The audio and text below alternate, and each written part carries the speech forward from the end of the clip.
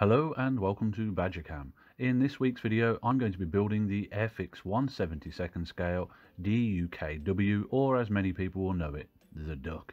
This strange looking amphibious truck was most famously used on D-Day to transport troops and supplies ashore during the first waves of the assault, as depicted on the lovely box art here. This kit is a remake of a very old Airfix kit. Rebranded under the Classics line, the moulds for this kit were originally made during the 60s. These kits used to come in bags and not boxes. Recently I actually saw one of these ancient kits and the plastic was that old that it was basically crumbling apart. I've uh, heard good and bad things about these uh, remakes on a few of the modelling for forums, but without further ado, let's get on with this. Upon opening the box inside you get a small jumbled up looking bag of parts. This is all full of small bits of spur in a nice khaki green shade that I've never seen a model built in before. An instructions manual which is very very short, the whole build's done in four steps, one of which is the decals, and a small sheet of decals to complete the model. Getting into the spurs, this kit really does show its age. The detail's okay, but a bit melted looking. There's lots of flash, mould lines and ejection ports in bad places on all of these bits. Sure, it can be overcome though. Anyway, let's get on with building the thing. Straight off the bat, there's a bit of a stumbling block. I'm not sure how to put the thing together. My instinct tells me to put the block on the base and then build around it, but there's nothing to uh, key into on the lower part. So I'm just going to build the bits I can definitely do and think on it.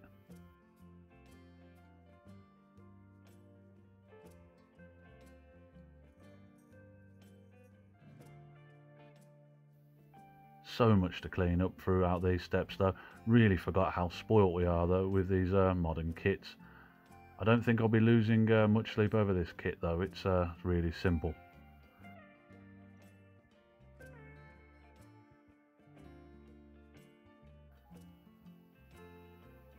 It's the first 172nd scale vehicle I've built in some time though, and I actually forgot how big planes are compared to trucks. Looking forward at the instructions to see if there's any clue on how the thing builds together, it seems I need to build the tub first and then drop the bits down into it. Still though, no harm, no foul.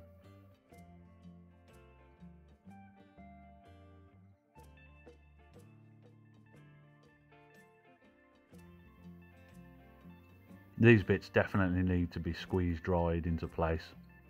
It's coming together though, even if the main parts do need a little light persuasion.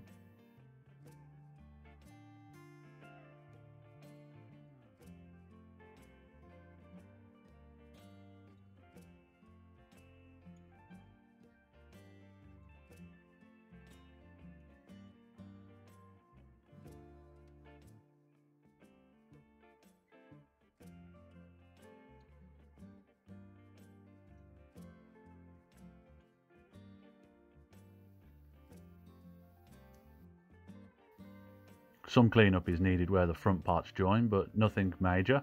The fit's okay.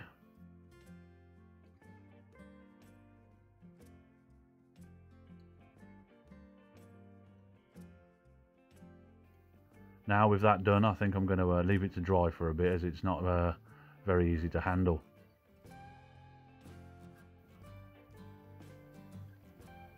Now just a couple of side bits to add.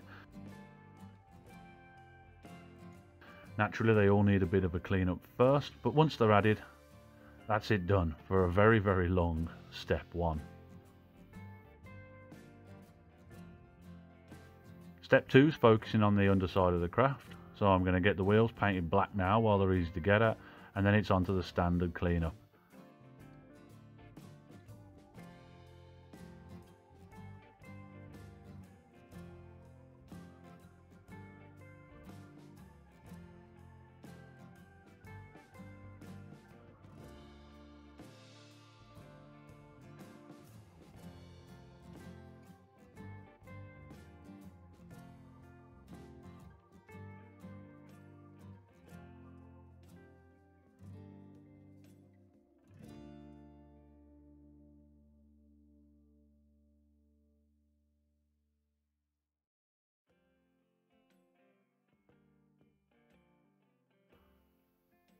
With the wheels sort of dry, it's time to add these.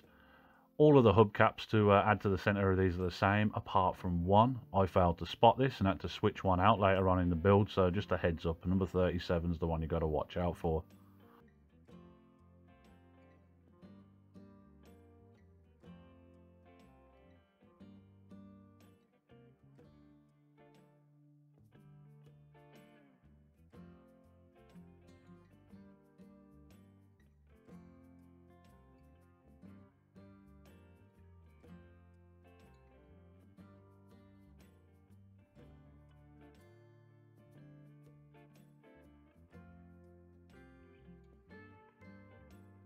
With all the wheels on, that's the end of a very simple step two. On to step three, the shortest step. This step's all about just adding all the little bits to the hull of the craft.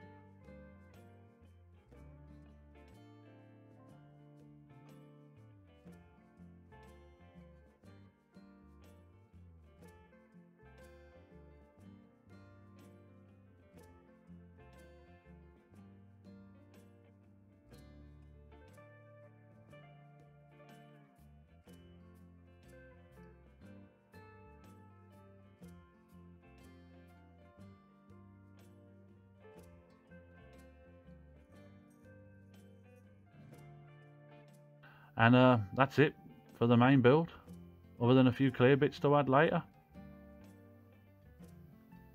Now it's time for painting. Nice and simple here. A quick coat of Tamiya XF51 khaki drab for the main bits. And some khaki XF49 for the canvas covering on the back.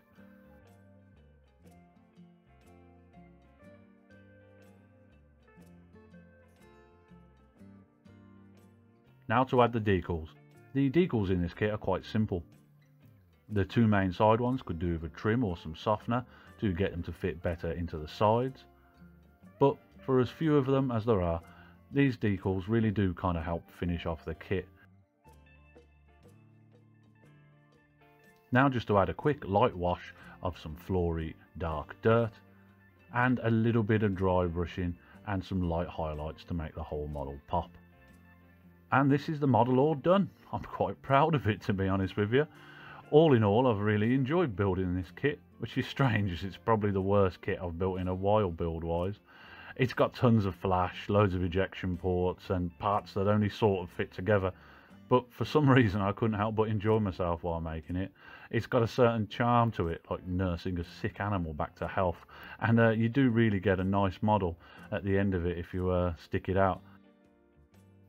I think though that this being a short build kind of lends to its enjoyment as with only three main steps you can focus on all the cleanup and sorting things out and it doesn't seem so much of a chore. I think all in all, to be honest with you, this kit only took me about three hours to build. Anyway, that's my look at the Airfix 172nd Duck.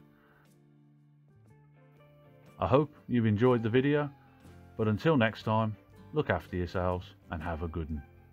Goodbye.